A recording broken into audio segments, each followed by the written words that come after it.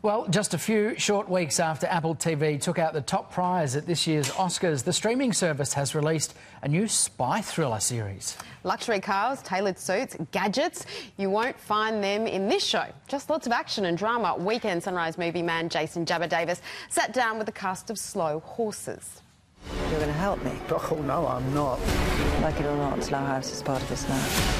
What do you think you're playing at?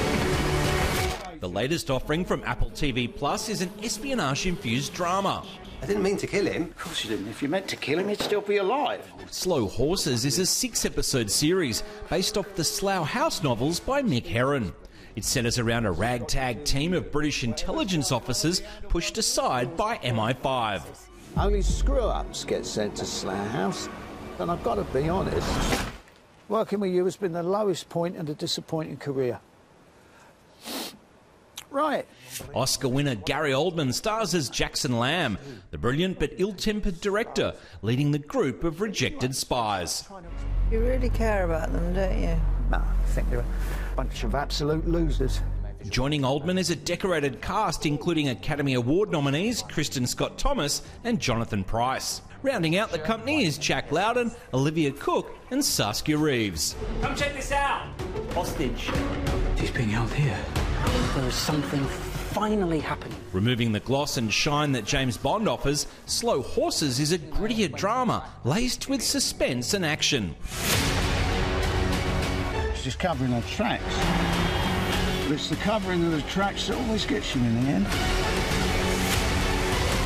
Gary and Jack, great to have your company on Australian TV. Yeah, great. Yeah, happy to be here. Yeah. I watched four episodes back to back and I had to tear myself away from the show. I'm saving the last two episodes like some kind of treasure.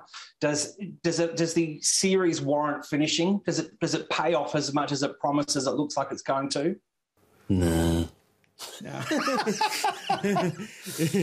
yeah. Uh, oh, yeah, yeah, you yeah. need to watch the last two for sure. yeah. Oh, yeah. It's such a chameleon of a show. It starts off as James Bond meets The Office and then becomes so much more. How do we explain the show to our audience coming in cold? Uh, uh, well, I think you've. I think Yeah, you've. that's quite good. I think you've done it. I like that James Bond that becomes the Office, that then becomes La La Land, because of the sort of big dance number in episode six. the dance number. well, he's not seen it, so you see anything. Yes, but he's headed to a plane loaded with fuel.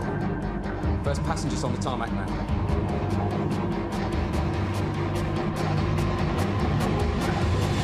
Authorise. Apprehend suspect.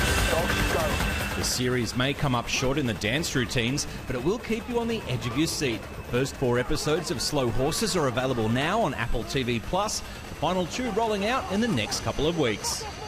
I like the look of that. It's, I've watched the first four. Oh, you have? It's one of those series that is it, like it drip feeds you. Obviously, each time, each week, the episodes come out, and you're you are hooked. Oh, It's good really binge worthy. Okay, Yeah. I'll wait till I Get around it. It's really innovative and novel. I like Good it. stuff. Okay.